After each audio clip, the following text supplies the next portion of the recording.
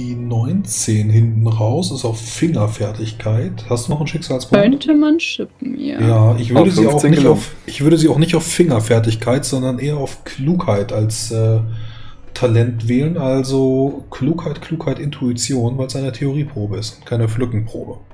Gut, dann würfel ich mal die 19 neu. Das sieht besser aus. Du hast die Pflanzen erkannt. Die wachsen nur an einer einzigen Stelle.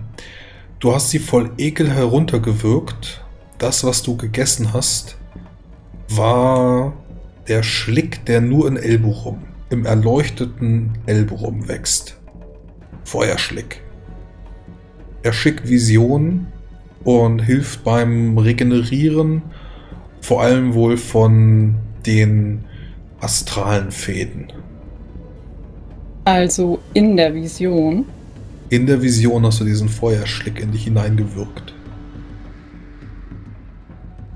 Gut, ähm, nachdenklich äh, wendet Zulamin sich von der Statue ab und macht diesmal einen Bogen um das Wasserbecken am Eingang mm, und tritt dann wieder hinaus auf die Straße. Ich möchte zurück zum Blauen Palast und ein wenig nachdenken und dann wohl auch mit den anderen reden. Vermutlich steht irgendein Leibwächter äh, am Tempeleingang, denn ganz so sicher äh, fühlt sich Zulamin und wahrscheinlich auch die anderen in Janka immer noch nicht. Und sie betritt dann wieder äh, den blauen Palast und, äh, naja, das Wohnzimmer, wo sich eigentlich fast immer jemand aufhält. Mira, jetzt spuck das Stück aus. Mira, das ist mein Stück Elefantenfleisch. Das habe ich dir gestern auch noch gesagt. Also wirklich. Mira, das war meine Tasche. Ja gut, du darfst es behalten, aber auch nur, weil du so niedlich bist. Oh, Papa kann dir doch nicht böse sein, das weißt du doch. Sie- lächelt. Ach, hier seid ihr. Es tut so gut, euch zu sehen. Und äh, lässt sich erstmal neben Rafim aufs Sofa fallen. Ich war doch gar nicht weg. Ich glaube, ich war weg. Ich habe das Gefühl, ich war sehr weit weg. Habt ihr auch geträumt? Nicht Montags, du geträumt. träumst? Ja, unglücklicherweise. In den letzten Tagen. Oh, Ich, Ja, ich hoffe, das geht wieder weg. Bisher ist es immer weggegangen. Aber Zulamin, ich hab dich unterbrochen. Entschuldigt. Was wolltet ihr sagen? nein, nein, Boltax ist, Boltax ist auch wichtig. Ähm, aber äh, wir haben schon, wir haben schon darüber geredet. Er hatte schlimme Träume. Ähm, ich habe nicht geträumt, Boltax. Äh, ich bin in den Tempel gegangen. Ich habe dir erzählt, ich ringe mit mir. Ich bin mir nicht sicher, ob ich Janka sich selbst überlassen sollte oder naja, ob ich bleiben sollte. Hm. Deswegen, deswegen wollte ich meine Herren um Rat fragen. Aber die Antwort, wenn man es denn so nennen kann, war merkwürdig. Ich denke nicht, dass sie es war, die auf meinen Ruf geantwortet hat. Irgendetwas hat sich dazwischen geschoben. Hm. Aber ich glaube nicht, dass es jene war, von der ihr geträumt habt. Ich habe das Meer gesehen. Die nachtblauen Tiefen. Das alles nicht recht zuordnen. Ich denke, war die tiefe Tochter. Die tief? Ich dachte, dass nur er, den man den Sohn nennt, schlafe, aber ich hatte auch den Eindruck, dass sie schläft oder träumt. Und habe irgendwelche Pflanzen hinuntergewürgt. Die waren ganz widerlich. Erinnert ihr euch noch, als wir Gott, Göttin, ich glaube, es war auf der Seeadler. Da haben wir diese Matrose mit diesem Zeug erwischt. Oh ja, ich weiß, was ihr meint. Vor Ähm. Elborum. Feuerschlick. Aha. Ich weiß, was Feuerschlick ist, ja.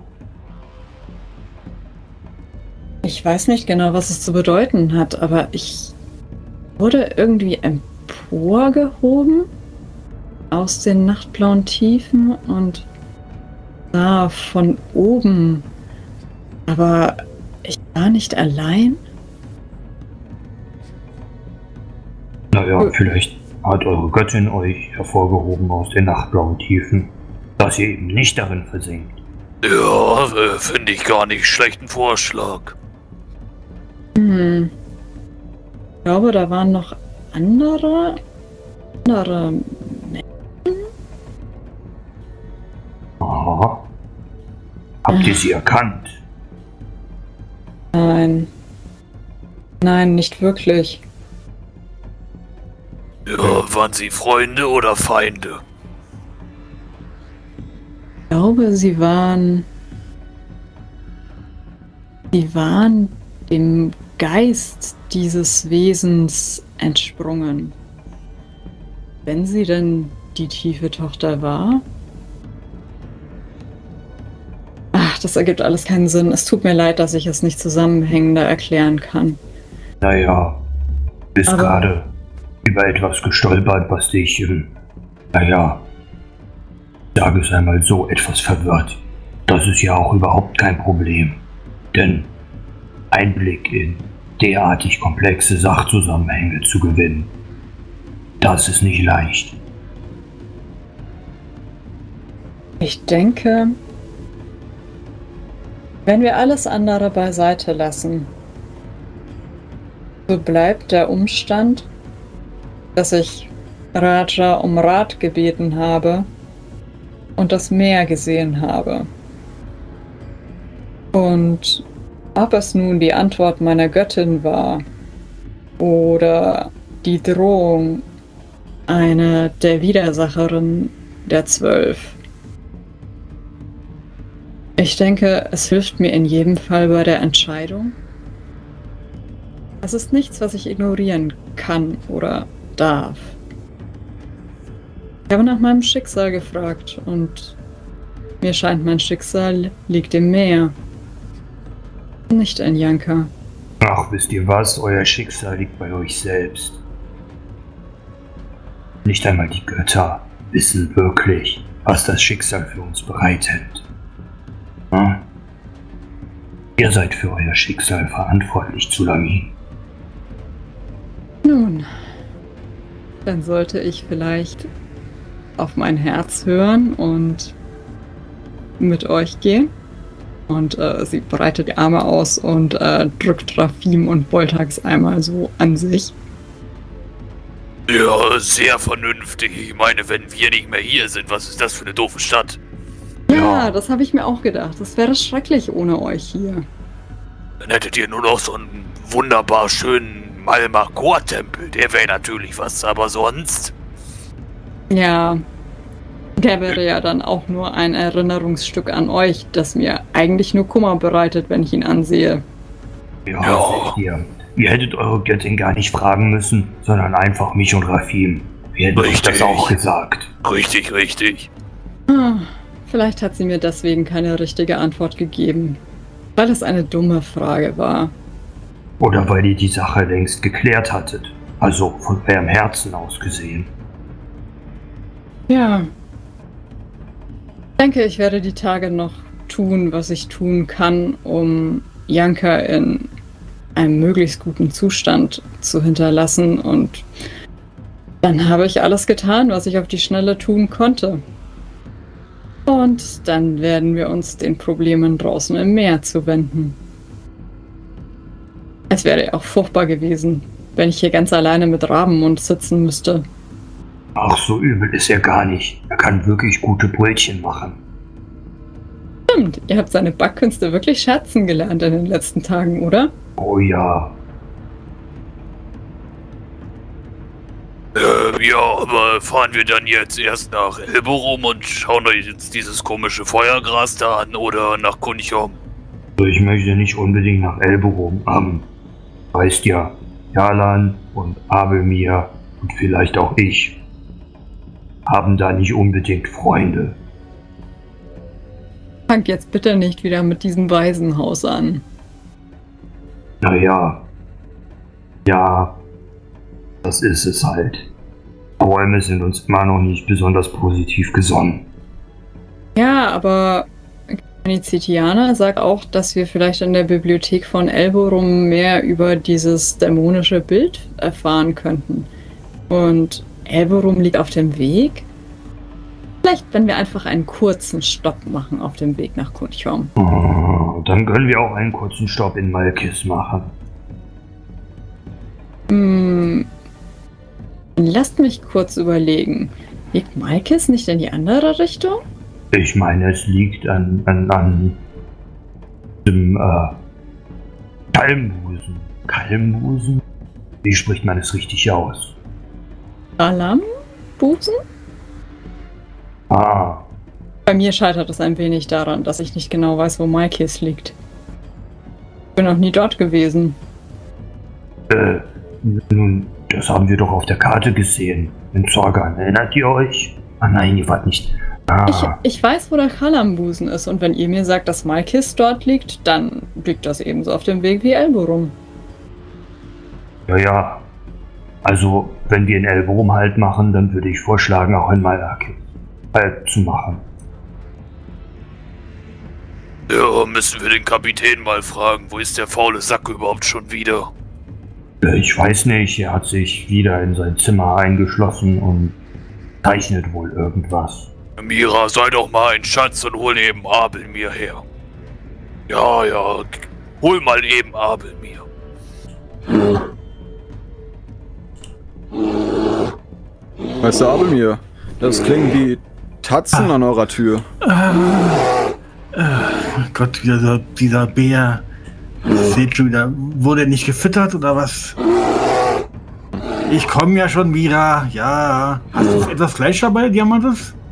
Äh, Ihr Tasche, ich bin doch nicht Rafim, ich habe doch nicht mal Fleisch dabei.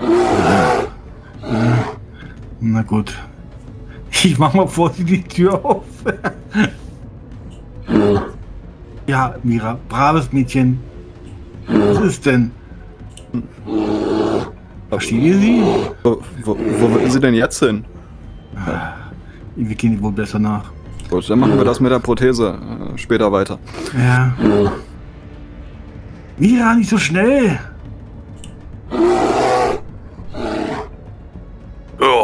Oh, wer hat da Abel mir gebracht oder hat sich jemand noch ein großes Stück Elefantenfleisch verdient? Oh, oh, mein Mädchen. Die Was- ist so klug. Ja, Was gibt es denn? Eine kleine Kursänderung. Äh, wir müssen zunächst nach Elberum und dann nach Malkis, bevor wir in Kunchum anlegen. Ist das in Ordnung? Darf ich fragen, warum? Wir dachten uns, es liegt auf dem Weg. In. Elborum erhoffen wir uns weitere Informationen aus der Bibliothek. Das sagte ja Kanizetiana, dass wir uns dort einmal umsehen sollten. Warum in Elborum? Ehrlich gesagt, ich bin ein bisschen skeptisch, was Kanizetianas Quellen angeht. Ich bin recht überzeugt davon, dass wir etwas finden, wenn wir seinem Hinweis nachgehen, aber ich wüsste trotzdem gerne, woher er solche Dinge weiß. Und er sprach ja auch von Malkis. Ja? Nun ja, Malkis ist einleuchtend, aber Elborum, wir sind dort nicht sehr willkommen, könnte man sagen. ja, ja, das weiß ich. Ich wollte Sulamin auch schon ausreden, aber Das war das mit dem Waisenhaus, oder? Was Es, sie war, es war kein Waisenhaus, es war ein, ein, ein Glücksspielhort. Ja, Ja, das- dann ähm, gehen nur Diamantis, ich und äh, Zulamin von Bord und ihr bleibt einfach an Bord sitzen. Und ihr wollt Informationen sammeln? ja, Was soll Also- das denn heißen? Ich bin super im Informationen sammeln. nichts für ungut, aber welche Sprachen könnt ihr denn lesen? Also alle gemeinsam. Gut, oder Media? Oh, Das ist- Das ist etwas. Und Rafim schüttelt einfach dem Bibliothekar so lange, bis die Informationen aus ihm herauspurzeln, oder? Oh, das war jetzt auch mein Vorschlag. Ich wollte gerade schauen. So funktioniert Bibliotheksrecherche, glaube ich nicht. Nicht? Ja, in Alan hat das In ausgezeichnet schon. funktioniert. Ach, ich glaube, ich werde euch begleiten müssen. Ja, so ich das auch. nichts. Ah, Ich meine, das wird auch bestimmt lang genug her sein. Die erinnern sich äh, sicher nicht mehr dran. naja, das ist richtig. Wie lange leben Räume denn eigentlich? Nicht so lange, oder? Nicht in Jalans Nähe. Nun ja, also Elborum. Ja, nur einen äh, kurzen Abstecher. Nun hoffen wir, dass keiner abgestochen wird. Doch, jetzt macht mir, macht mir doch nicht unseren Ausflug kaputt, mir. Ich bin schon sehr gespannt, wenn wir ähm, den Hafen in Janka verlassen, ob sich draußen auf dem Meer irgendetwas gebessert hat. Meint ihr, wir haben die blutige See etwas zurückgedrängt? Dadurch, dass wir den Malma getötet haben? Naja, ein gutes Stück bestimmt. Wir haben ja nicht nur den Malma getötet, sondern noch etwas viel Bedeutsameres getan. Die Pforte geschlossen. In der Tat. Ja, dann fehlen ja nur noch, ähm, ich weiß nicht, wie viele von diesen Dingern es gibt. Zu viele. Ja, zu viele. Dann fehlen ja nur noch zu viele. Ach, es wäre wunderbar, vor der elburischen Küste wieder klares Wasser zu sehen. Nun, darauf würde ich nicht wetten. Aber schauen wir mal. Also Elborum. Nun, ich schätze, drei bis vier Tage werden wir brauchen. Bei gutem Wetter vielleicht schneller. Aber äh, wenn ihr jetzt mitkommt, Sulamin, was ich natürlich gut heiße, wer kümmert sich denn hier um eure Scheiße? Wenn ihr wollt, lasse ich eine von meinen äh, Trollzackerinnen hier. Die macht sich bestimmt gut als Visierer. Oh ja, Oh, äh, Meshra. bestimmt. Meshra würde sicherlich äh, gute Arbeit leisten. Ja, Ist die mit den zwei Echsen. Ja, Hat euch Isha schon geantwortet? Nein, bisher nicht, aber es ging auch nicht besonders schnell mit dem Briefe verschicken. Ich musste erst einmal die Leute zu Fuß nach Yazirabat schicken, aber ich habe ihnen Geld mitgegeben, dass sie die Botenreiter bezahlen können. Und Chara soll sich einfach ein Pferd kaufen. Ich kann es nicht sehen, wenn er zu Fuß geht. Ach, das habe ich euch noch gar nicht gesagt. Ich habe ihn nach Fasar geschickt. Er soll meinen Brief an Rishalia überbringen. ja, ich denke. Bitte. Ja, der war mir eh unsympathisch. Umso weiter der weg ist, umso besser für uns beide. Ja, und ich dachte mir, vielleicht bringen ihm die beiden Kalilia ein wenig Vernunft bei. Ja, sonst hätte ich das gemacht, aber es bot sich bisher noch nicht an. Ja. Es ist wenig heldenhaft, jemanden zu verprügeln, der schon so viel eingesteckt hat wie er in der Schlacht. Ja, das früher hätte mich das nicht aufgehalten. Aber mit Boltax äh, Training Mhm. und der Armbrust mache ich gute Fortschritte, möchte ich Ja, ja. sagen. Ich entwickle mich noch zu einem äh, Vorzeigechor geweiht, möchte ich sagen. Also sollen wir dann, äh, sollen wir sie dann holen? Sie macht bestimmt eine gute Visierer. Ja, und äh, wir können ihr ja ähm, unseren Brötchenbäcker zur Seite stellen. Genau. Und dann, wenn er frech wird, vermöbelt sie ihn. Ich dachte, wir wollen die Stadt aufbauen, nicht einreißen. Außerdem glaube ich auch, dass sie hier alleine nicht sehr glücklich wäre. Auch wenn es hier gefährlich genug ist, ist sie eigentlich immer ganz glücklich. Hm.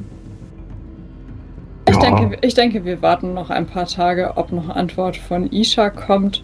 Und ansonsten wären noch äh, diese Rondrianerinnen aufgetaucht.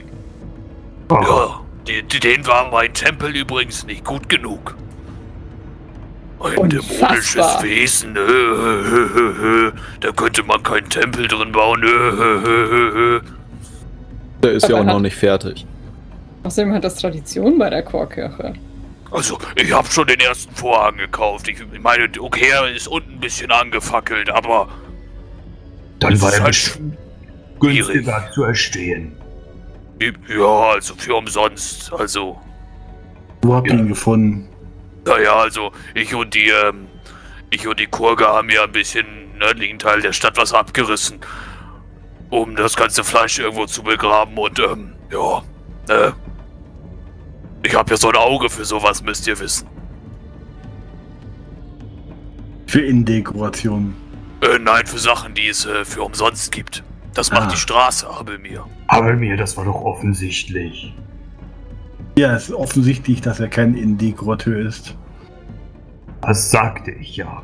Aber, aber mir, wenn, wenn ihr möchtet, können wir ja nochmal die Tempel zusammen besichtigen und äh, dann könnt ihr mir alle ein paar äh, Vorschläge machen, wo wir noch was hinhängen können. Ich habe schon einige Waffen in die Wand getrieben, damit es schön heimelig aussieht. Das ist gut. Oder vielleicht irgendwelche Banner mit Wappen oder sowas. Oh, habt ihr Banner?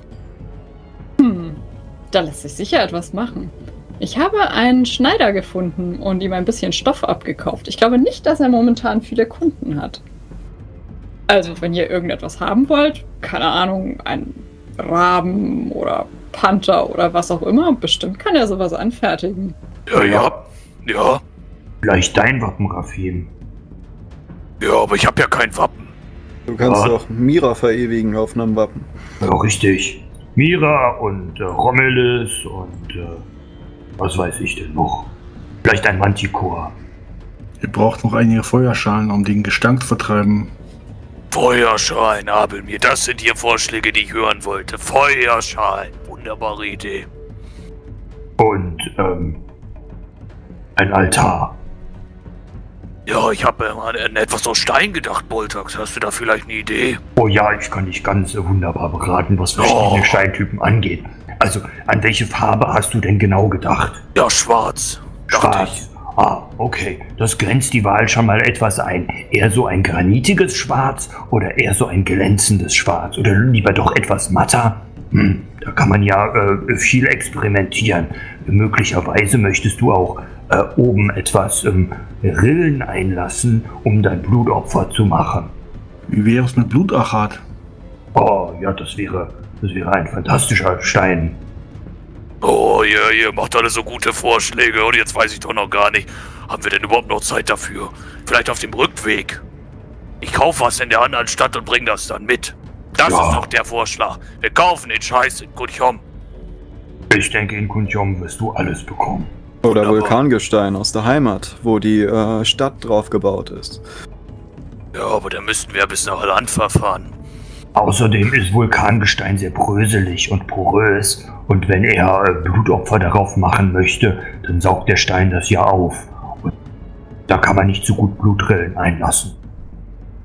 Ja, ja, es ist alles richtig, ist alles richtig. Zulamin, dann können wir auch was für den Raya-Tempel gleich kaufen. Wenn wir eh unterwegs sind. Eine sehr gute Idee. Ich nehme an, Rosenquarz oder so etwas. Ja, und Amethyst. Hm, gute Wahl. Hat eigentlich irgendjemand Lahalkash diese Sache mit der Schmiede auf dem Schiff ausgeredet? Mir kommt das immer noch komisch vor. Sonst stellen sich immer alle so an, von wegen, dass das Schiff abbrennen würde. Und er will da eine Schmiede haben? Nein, es gibt keine Schmiede auf einem Schiff.